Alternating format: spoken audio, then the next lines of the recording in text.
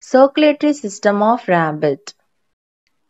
The circulatory system of rabbit includes blood, blood vessel and heart. Heart is pear shaped which is present in the thoracic cavity. Pericardium it is a double membrane which encloses the heart. The heart is four chamber. It has two auricles and two ventricles. Two auricles are separated by the interauricular septum. This septum separates the right auricle and the left ventricle.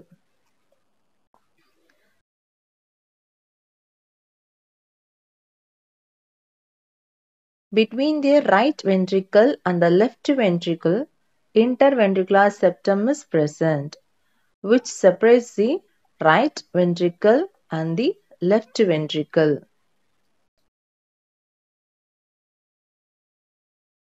Next one is tricuspid valve. This is a three flap-like structure which is present between the right auricle and the right ventricle. It is a three flap-like structure. For that it is said to be as tricuspid valve. Then the bicuspid valve otherwise known as mitral valve which is present between the left auricle and the left ventricle. It has two flap-like structure so it is called as bicuspid valve. Next one is precaval and postcaval vein. These two veins brings the deoxygenated blood to the right auricle. It brings the deoxygenated blood that is the blood with the carbon dioxide from all the parts of the body to the right auricle.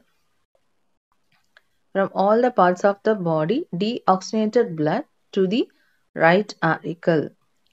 From the right auricle the deoxygenated blood enters into the right ventricle through tricuspid valve. Then it is transported to the lungs for the purification purpose where the carbon dioxide is separated from the blood and oxygen is mixed with it. Now the blood is with the oxygen. It is called as oxygenated blood. This oxygenated blood enters into the left auricle through the pulmonary vein and then it is transported to the left ventricle through the bicuspid valve. From the left ventricle, it is transported to all the parts of the body through aorta. So, aorta which is used to transport the oxygenated blood to all the parts of the body. That's all about the circulatory system of rabbit.